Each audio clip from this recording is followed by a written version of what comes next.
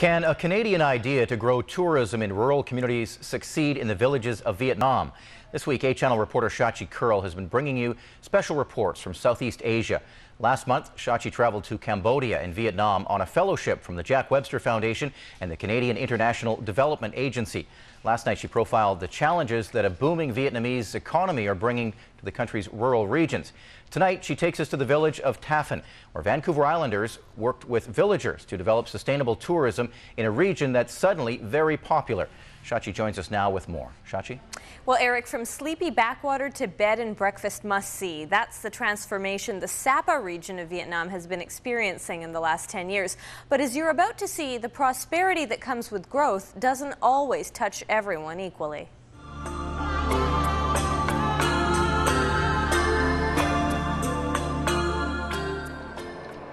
The views, quite simply, are spectacular. These are the mountain ranges of Sapa, Vietnam, peaks usually cloaked in cloud and mystery. Back in the 1920s, this region was developed as a hill station, a place for French colonial soldiers to come and beat the heat.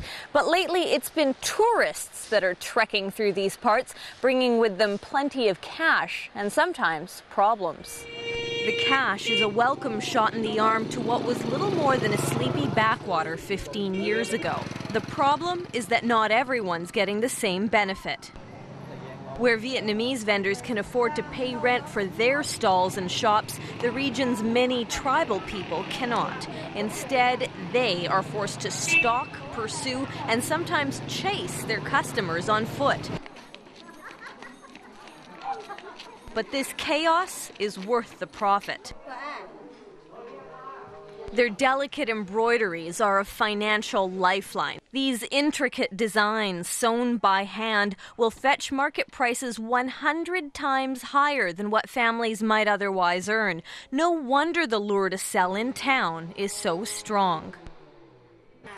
But now, neighboring Ta Phin village, home to the Red Zao tribe, is trying to maximize its profit potential with a concept called community based tourism. So that they can welcome the tourists directly. Because now the real situation is that all the tourists they don't know where to contact with the local people.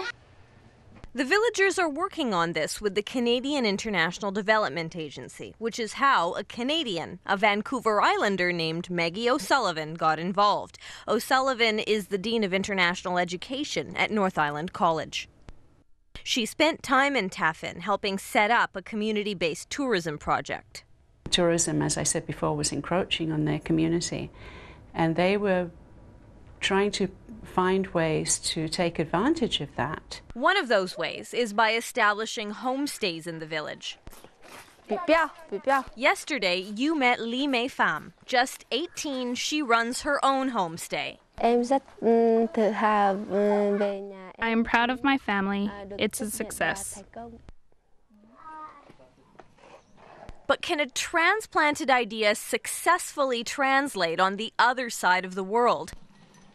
After all, this is where the buffalo really do roam and where they leave little presents in the middle of the road. Go inside, and it's like going back in time. Central heating consists of an open pit fire, flames also doubling in the gourmet kitchen. As for the main course, well, at least its last moments were happy. Then there's what you face when nature calls. Once little more than a hole in the ground, there's been progress on that front. There were no toilets in the past. So now we, uh, we have at least 15 toilets in the village. And while the mountains are an irresistible lure for trekkers, there's not exactly loads to do in the village except drink lots of tea and play a local version of chess. We welcome tourists to Ta Phin. We want them to come and share our culture. Villagers are saying all the right things, but can they truly expect to gain a foothold in the hospitality trade? Is the goal even realistic? I think the last thing that we would want to do is to make every um, homestay a Hilton hotel. And stopping time may actually be impossible. As proud of her lodgings as Li Mei Pham may be, she's also keeping an eye on the bottom line. I still want to sell my goods downtown. Why wouldn't I? There's good money in it. As they perform ah. songs and dances once reserved for ceremonies and community gatherings, it's hard to see what the future holds for Ta Phin. Ten years from now, how many children will be attending the village school? How many will be running their own homestays? And how many will choose to seek their fortunes in Sapa Market? Perhaps the answers lie somewhere in that ebbing, rolling fog. Now, Eric, the project actually wraps up later this year, so we'll have to find out whether it is deemed a success or not. Now, we have a double feature tonight as we wrap things up at the end of this week. Here's a look at how my first day started on this trip. When you're a reporter on the beat, there's a difference between getting stuck on a story and just getting stuck. The day had started well enough, but here we were, my translator in his bare feet to save his shoes, our truck four feet in the mud, going nowhere. That is, until some loggers drove by.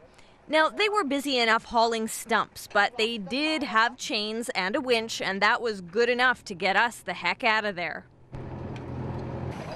Now, it is custom, no matter where one is, to properly thank one's rescuers.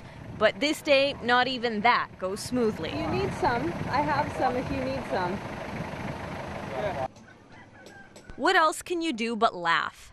This day was done. The story would have to wait until tomorrow, and I had learned road reporting lesson number one.